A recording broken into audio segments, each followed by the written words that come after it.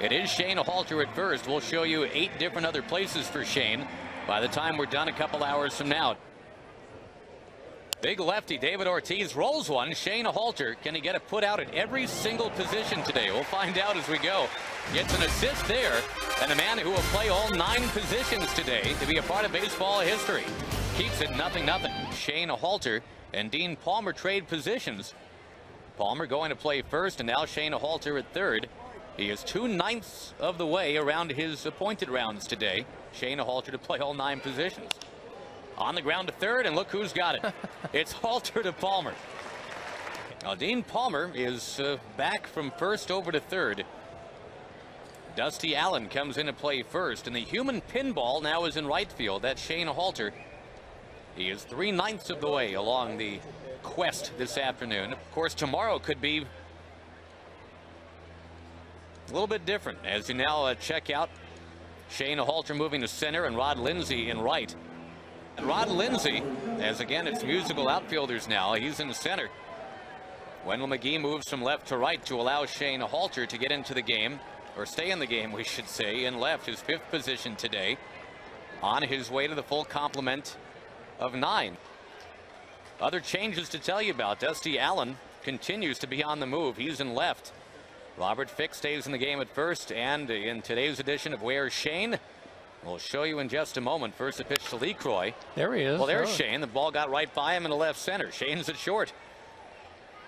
The sixth position for a halter already today.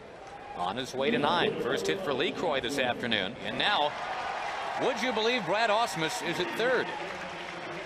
Because Shane Halter is going to be catching. Jose Macias is into the game at short, which is where Halter had been. Of course, he's also been at first, third, right, center, and left today. Now position number seven How on his way to nine.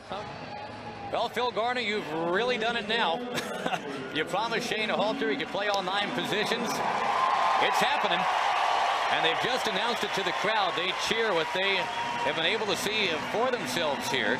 Brad Ausmus is going to be moved along here. Phil Garner will have to go to the uh, crib notes in his hat before too long. Gonna drill him? No, he's not gonna drill him. Bounced it up there instead. It's a walk.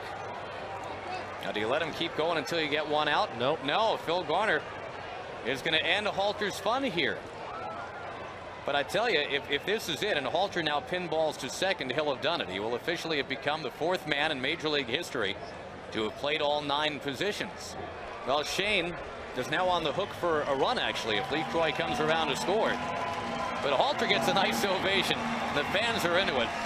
They you know, I tell you what, the, and you know this better than I do, Gibby, the fans in Detroit absolutely appreciate a guy who busts his tail all year. And what they're seeing here today is a guy getting recognized for having done that. He has been completely in the shadows. He's had some fun with us, with his teammates. He's been a good guy to have around. Never asked for anything. But today is rewarded with a share of baseball history. Defensive change for the Rangers here in the bottom of the fourth. Scott Sheldon moves in behind the plate for Bill Haselman. Moving from behind the plate to first base, it'll be Scott Sheldon. Changes. Scott Sheldon, who was the first base, moves over to second. Catalanotto, who was the second, moves over to first. And they have just moved Scott Sheldon to shortstop. Kelly Dransfeldt moves to second. We understand they're going to try to play Scott Sheldon at every position tonight. Already played catcher. First, second, now short. And there's Scott Sheldon moving around once again. He is now in right field. So he's been catching. He's been at first. He's been at second. He's been at short. Now in right field. Well, now another change. Scott Sheldon moves from right to left. Kapler moves from center. I'll check that right to center. Kapler moves from center to right. And there's the new left fielder, Scott Sheldon. As you see, last player to play all nine positions Cesar Tovar, Minnesota, September 22nd, 1968. Sheldon's caught, played first, second, short, right, center, left. He's only got a couple to go. First pitch swinging, line bullet. Play by Dransfeldt right there. The throw was easy, right over the top. And here comes Scott Sheldon right now. Right to the mound directly. Johnny Oates coming out. He must be a heck of a guy a manager to let him do this. Look at that. 67 miles an hour. And that just goes to show you, you either got to be above the hitting speed at 97, 98, 99, or 100, or get below it. Sheldon moving over to third base to finish off the nine positions since the fifth inning. There's Andrew Romine. He will start the game in the left field today. 3-2 is slapped toward left field, sinking. Romine will come on to make the play. High fly ball toward left field. Romine backpedals. So Andrew in the start in left field gets two putouts here early in the game. He has moved to center field right now. The Tigers have uh, juggled up their outfield. So it'll be Romine in center. That'll be his second position played. Romine, by the way, is in right field. So that is his third position in the game. Started in left. We can check that off. Then center.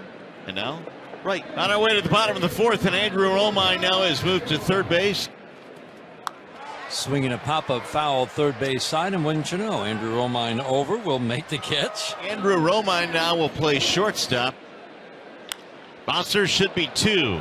Machado, Romine, and a double play. 4-6-3. Romine involved in another out. Andrew Romine has gone to second base with Machado moving to shortstop. So Romine has the gear on. We'll check off catcher. There we go. Two left.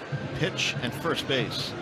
At least Romine's got a smile on his face right now. Yes, he does. One run game, and now Romine to pitch to Sano. Sano grounds to third.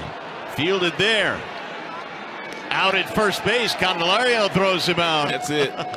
Going to first base now. Yeah, Brad bringing out the first baseman's glove. So Romine retires the only batter he faces. Well, it's official now. Andrew Romine will go to first base. He has now played all nine positions in the same game, and so you can check off every single box.